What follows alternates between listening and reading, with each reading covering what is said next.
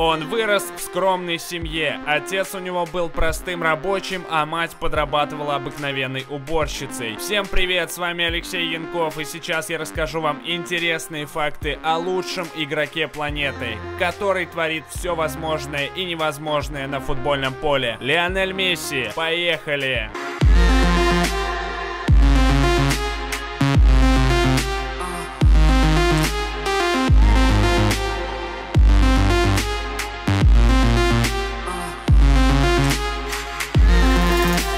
Школьные годы на первом месте у Лео был только футбол. Ему не нужно было прогуливать школу. Если он не хотел идти в нее, то так и говорил своей маме, что ему нужно поспать подольше, чтобы подготовиться к тренировке. И она всегда соглашалась. Кто бы мог подумать, что первый контракт Лионеля Месси подписан не на золотом папирусе и не бриллиантовой ручкой. Первый контракт аргентинского футболиста с Барселоной оформлен на обыкновенной салфетке. Да-да, на бумажной такой такой салфеточки, которой мы руки вытираем. Спортивный директор Барселоны был настолько впечатлен навыками Лео, что сразу же захотел подписать контракт, но никакой бумаги рядом не оказалось. Сейчас эта салфетка является экспонатом музея испанского клуба. После зачисления в Барселону юному Месси делали инъекции гормонов роста. Если бы не дорогостоящее лечение, Лионель вряд ли бы вырос выше 140 сантиметров. Благодаря инъекциям Месси удалось дорасти почти до 169 сантиметров. При этом Лионель забил головой один из своих важных голов в финале Лиги Чемпионов 2009 года. А в мае 2012 года Месси предложил полностью оплачивать лечение шестилетнего мальчика, который хотел стать футболистом, но не мог этого сделать из-за дефицита гормона роста. Кто знает, может быть, когда он вылечится, станет великим футболистом,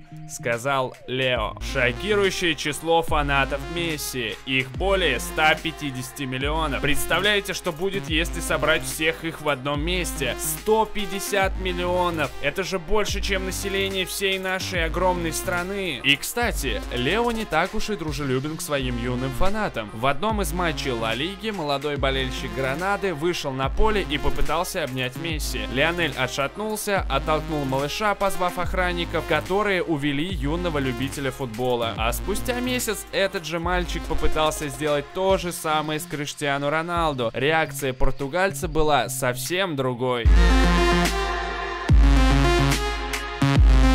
Ну а куда же без этих вечных споров? Кто лучше, Месси или Роналду? Мне кажется, из-за этих баталий мир сошел с ума. Пару дней назад произошел такой инцидент. Извечный спор перерос в драку, в ходе которой чувак запустил в своего товарища стакан, но промахнулся. Попав в стену, стакан разбился. Другой чувак схватил осколок и всадил другу в горло, что привело к гибели, заявил инспектор полиции. Месси проиграл вратарю роботу.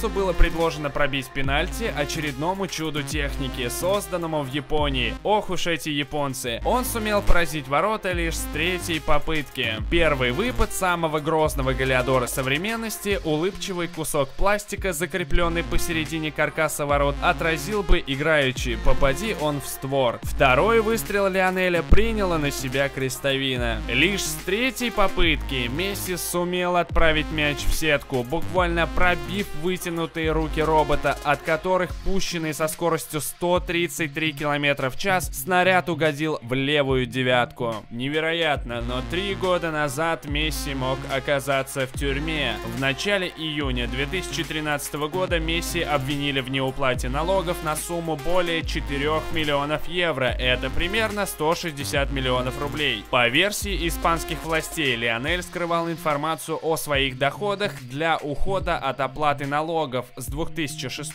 по 2009 годы. В свою очередь, аргентинец заявил, что он никогда не нарушал закон. У Месси худший дебют всех времен. Первый матч за сборную Аргентины Лионель провел 44 секунды. 44, Карл! Месси получил красную карточку через 44 секунды после выхода на замену в игре против сборной Венгрии 2005 года. Лео очень сильно любит свою бабушку татуировку. На левой лопатке у Месси нанесена татуировка с изображением его бабули. Если вы внимательно следите за игрой Месси, то наверняка обратите внимание на его празднование гола.